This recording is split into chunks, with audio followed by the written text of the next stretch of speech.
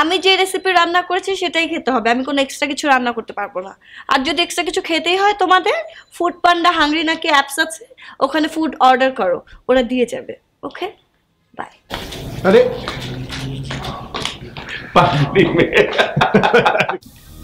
এ মামা ওই টুকটাক ব্যবসা করলে কেমন হয়? মানে বলছিলাম যে আমাদের তো স্কুল রেডি হতে আরও বছর খানিক বাকি আছে তাই না? হ্যাঁ তা তো বছর খানেক লাগবেই। তা কি ব্যবসা করবি? না ওই আজাদ বলছিল যে আমি চাইলে ওর হাঁস মুরগি খামারের পার্টনার হতে পারি। আজাদের সঙ্গে বিজনেস ওর ব্যবসা কি ভালো চলছে?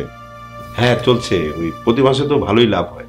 আমারে বলল যে দুই লাখ টাকা ইনভেস্ট করলে লাভের দশ পনেরো হাজার টাকা আমাদের। দিলে আচ্ছা। কিসের ব্যবসা?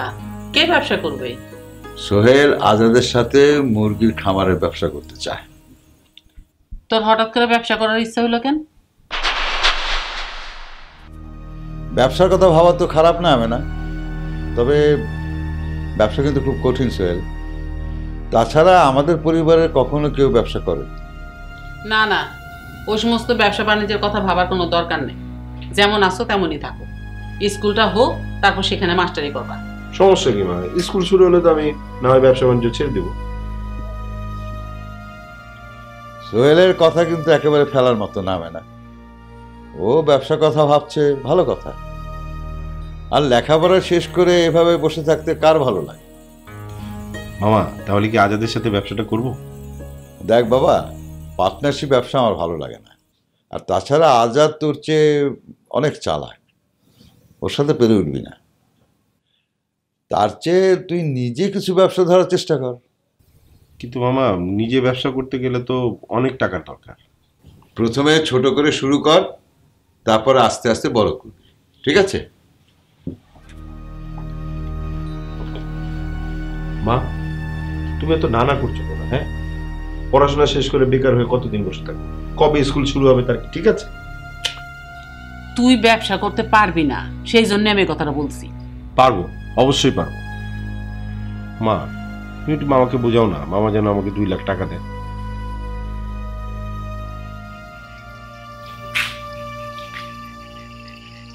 আচ্ছা সারাদিন এত ছোটাছুটি করার পরেও তোমার এই ফাইলপত্র নিয়ে বসতে হয় বাড়িতে এসে হ্যাঁ? তোমার পরিশোধের কাজ কি শেষ হয় না? আহা এগুলি পরিষদের কাজ না।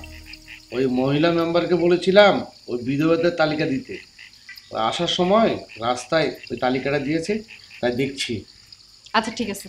এখন এসব রাখো তোমার সাথে আমার জরুরি কথা আছে। হ্যাঁ বলো। কথাটা হইল আমরা যে ছেলেটা পছন্দ করছি তোমার মেয়ে সেই ছেলেরে বিয়ে করবে না। তার নাকি পছন্দ আছে। পছন্দ আছে? হ্যাঁ কাজী সোহেলের পছন্দ করে। সোহেল? সোহেল যেন কে? আরে সোহেলরে চিনলা না? ওই যে আমাদের আনিস মাস্টারের ভাগনা বাহ আমার মেয়ের পছন্দ ভালোই।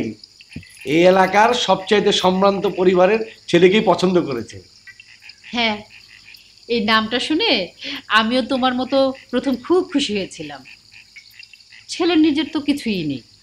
তাছাড়া লেখাপড়া শেষ করছে একটা চাকরি বাকরি পর্যন্ত নেই। শোনো সোহেলের চাকরি নিয়ে কোনো ভাবনা নেই।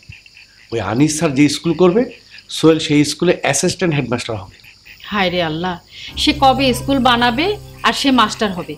ওই চিন্তা করে বসে থাকলে কি আমাদের কোনো লাভ হবে? তাছাড়া ওর তো নিজের কোনো সয় সম্পত্তিও নাই। কথাটা একেবারে ঠিক না। সোহেলের মা তার বাবা মায়ের সম্পত্তির অংশ পাবে এবং সোহেল তার দাদার অংশও পাবে। আচ্ছা ঠিক আছে। আমি তোমার কথা মানলাম। কিন্তু তারপরেও তো একটা চাকরি নাই বাকরি নাই আমি এরকম বেকার ছেলের সাথে আমার মেয়ে বিয়ে দিব না। এইটা একটা গুরুত্বপূর্ণ কথা। এক কাজ করো তুমি একটু কাজরিকে ডাকো কাজুরি? আয় কাজুরি এদিকে আয় তো। তোর আব্বা ডাকে। আর শোনো আমি কিন্তু বেকার ছেলের সাথে একদম মেয়ে বিয়ে দিব না কথাটা যেন মনে থাকে। হ্যাঁ মা সোহেল তো কিছুই করে না। ওর সাথে তোর বিয়ে দিব কীভাবে? এই জন্যই তো বলি এখন বিয়ে করব না। আগে স্কুলটা হোক তারপর বিয়ে। কিন্তু কবে স্কুল হবে তার কি ঠিক আছে? তাছাড়া তখন যদি কোনো কারণে তোকে বিয়ে করতে রাজি না হয়? বিয়ে যদি করতে হয় তাহলে সোহেলকে এখনই বিয়ে করবি আর না হলে আমি অতদিন অপেক্ষা করতে পারব না। কিন্তু এখন সোহেল বিয়ে করবে কি করে? সোহেল যদি তোর বিয়ে করতে রাজি না হয় তাহলে এখন আমরা যেই ছেলে ঠিক করছি এই ছেলে তুই কোথায় পাবি?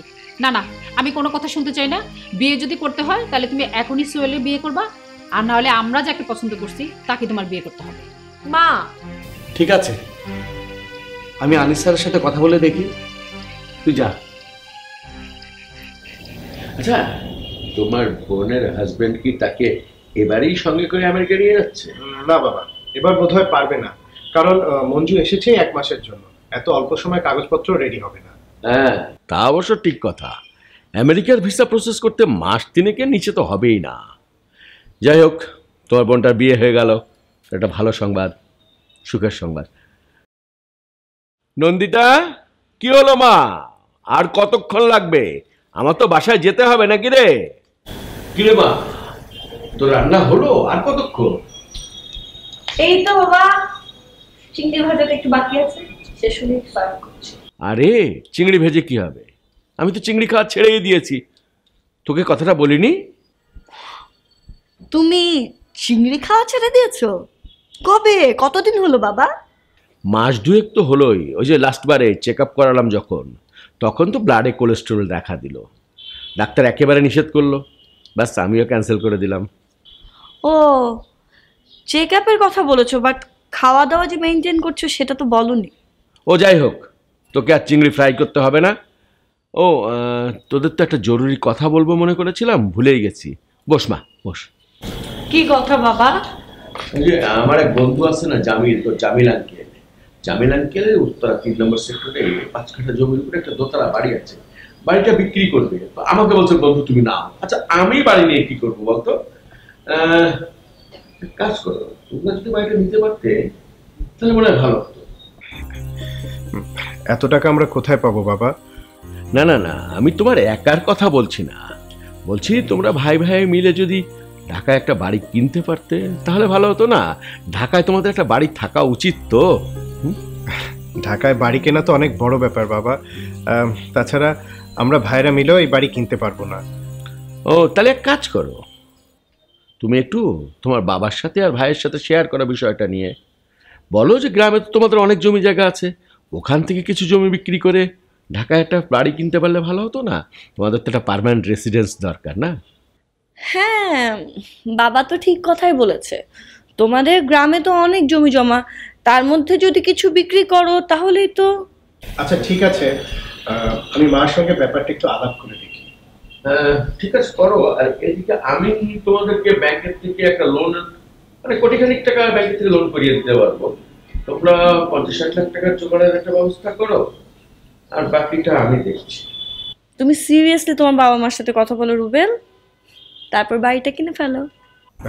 দেখি কাল ভাইয়ের সাথে একটু কথা বলব। উনি যদি কোনোভাবে বাবাকে রাজি করাতে পারেন। জামা টেবিলে খাওয়ার দে অনেক রাত হয়ে গেল তো বাসায় ফিরতে হবে না? বাবা দিচ্ছি হয়ে গেছে। তোমরা টেবিলে বসো। জলদি করো। হ্যাঁ। আসেন বাবা আসেন আমরা বসি। আসি। আচ্ছা সালেহা তুমিই বলো এই প্রস্তাব নিয়ে আনিস স্যারের কাছে যাওয়া কি ঠিক হবে? কাজুরি যখন সোহেলের কথা বলছে তাহলে তো কাজুরি সোহেলকে পছন্দ করে।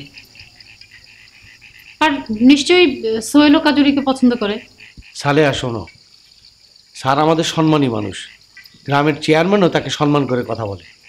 বুঝলাম কিন্তু এত কথা ঘুরায় পেঁচায় না বলে কি বলবা সেটা বলো। আমি বলতে চাচ্ছিলাম কি ওই স্যারের সাথে কথা বলার আগে সোহেলের সাথে কথা বললে কেমন হয় বলো দেখি। আচ্ছা তোমার এই বুদ্ধি নিয়া মেম্বারগিরি কীভাবে করো হ্যাঁ? মানে? মানে হলো তুমি সোহেলের ডাকে কি জিজ্ঞেস করবা? কি হলো? চুপ করে আসো কেন? তুমি সোহেলের ডাকে কি বলবা? সোহেলটা জিজ্ঞেস করবা এই তুমি কি আবার মেয়েরে বিয়ে করবা? এই কথা বলবা? না না আমি এটা বলতে যাব কেন?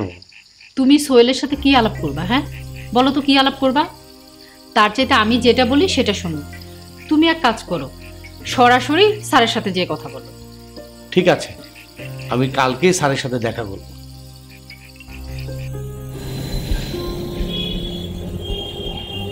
আমি দশ তারিখ চলে যাচ্ছি। আজকে টিকিট কনফার্ম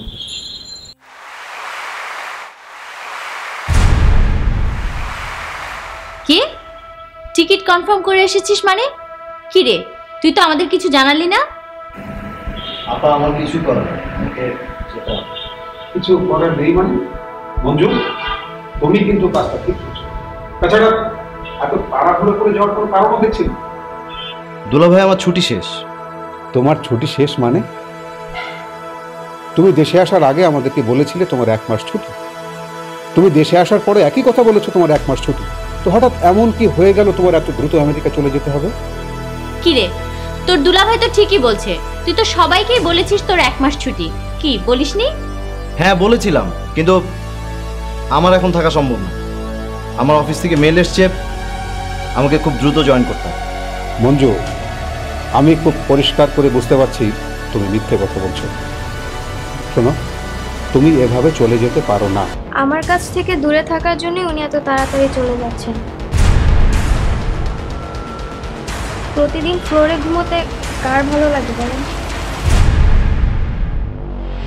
শোনো মঞ্জু তুমি চলে যাওয়ার আগে আলপনাকে নিয়ে যাওয়ার সমস্ত ব্যবস্থা করে তারপর তুমি দেশ ছাড়বে।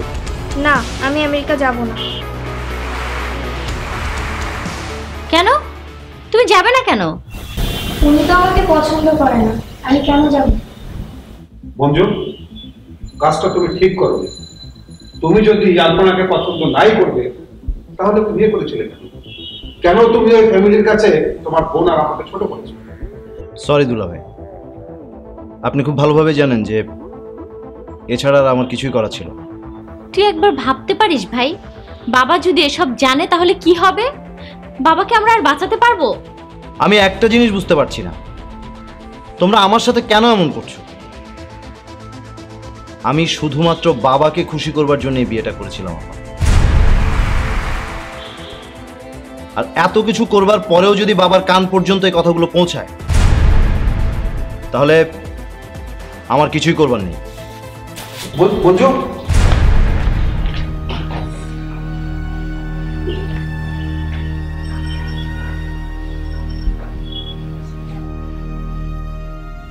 কেদো না আলপনা সব কিছু ঠিক হয়ে যাবে। Just take time take time সব কিছু স্বাভাবিক হয়ে যাবে আগের মতোই। ওকে একটু বোঝাও না।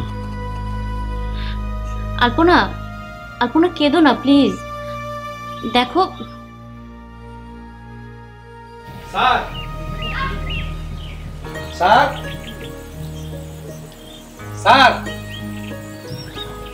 আরে মেম্বার সাহেব আপনি? জি ওই স্যারকে একটু ডেকে দেবেন? জি ডাকতেছি।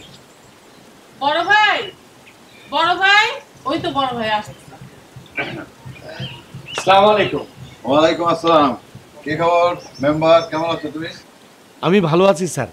আপনার শরীর ভালো? হ্যাঁ আমি তো মোটামুটি ভালোই থাকি। তা বলো হঠাৎ আমার কাছে কেন? স্যার একটা ব্যাপারে আপনার সাথে আলাপ করতে আসলাম।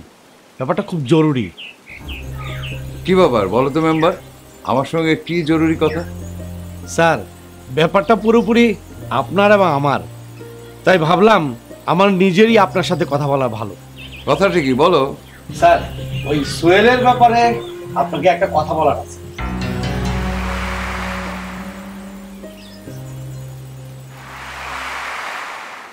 স্যার সোহেল আর কাজুরি দুজন দুজনকেই পছন্দ করে।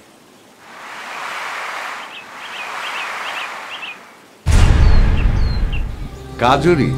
মানে তোমার মেয়ে? তোমাকে বলেছে।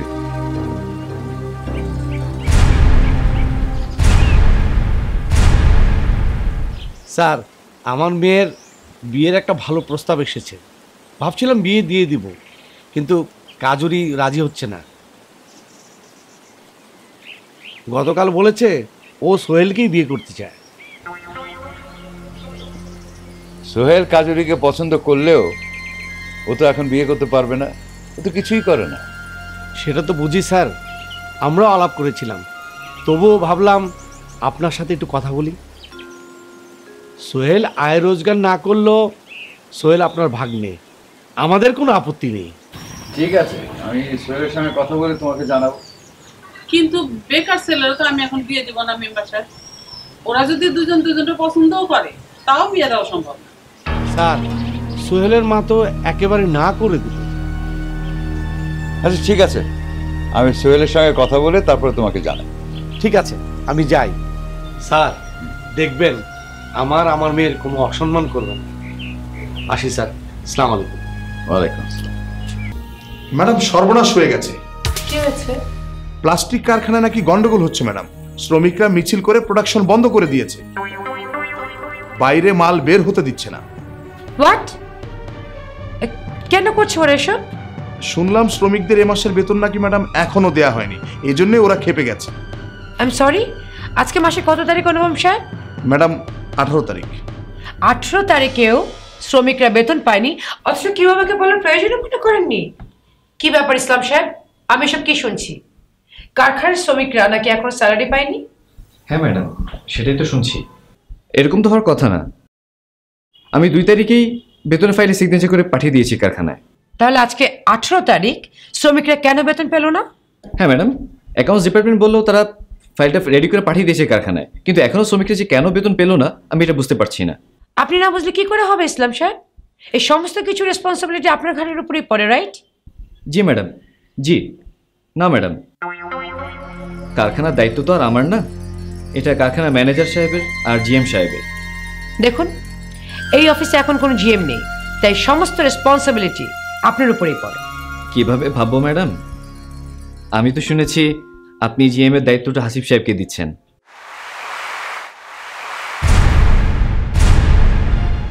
এসব আজে বাজে কথা বলার সময় এখন না ইসলাম সাহেব। রাইট হইতে আপনি কারখানা যান শ্রমিকদের বেতন ক্লিয়ার করুন তারপর কারখানায় জয়েন করতে বলুন ওকে ওকে ম্যাম আমি এক্ষুনি দেখছি। দেখছি না এক ঘণ্টার মধ্যে কারখানা চালু করে আপনি আমাকে জানাবেন। আদারওয়াইজ আমি নিজে কারখানায় যাব। কিন্তু ম্যাম কারখানার শ্রমিকরা অনেক মারামুখী হয়ে গেছে। তা- তাছাড়া তারা নাকি কারখানা ম্যানেজারকে আটকে রেখেছে। আমি কোনো কথা শুনতে চাই না ইসলাম সাহেব। কীভাবে কি করবেন সেটা আপনার ব্যাপার। আমি শুধু চাই এক ঘণ্টার মধ্যে কারখানা চালু হবে। ওকে ওকে ম্যাডাম আপনি কোনো চিন্তা করবেন না আমি এক্ষুনি যাচ্ছি। ওকে আসতে পারি? আরে নাহিদ আসুন বসুন। থ্যাংক ইউ এক মিনিট। অনুপম সাহেব শ্রমিকরা কেন বেতন পেল না? কারণটা আমি জানতে চাই ভেরি ক্লিয়ারলি আর এই কারণটা আপনাকে খুঁজে বের করতে হবে ওকে ঠিক আছে ম্যাডাম আমি ব্যাপারটা দেখছি।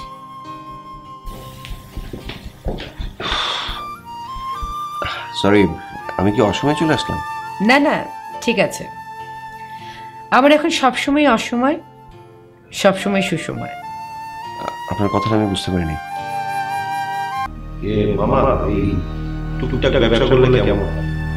মানে বলছিলাম যে আমাদের তো স্কুল রেডিওতে আরও বছর টাকা তাই না? না ওই আজাদ বলছিল যে আমি হাঁস মুরগি হতে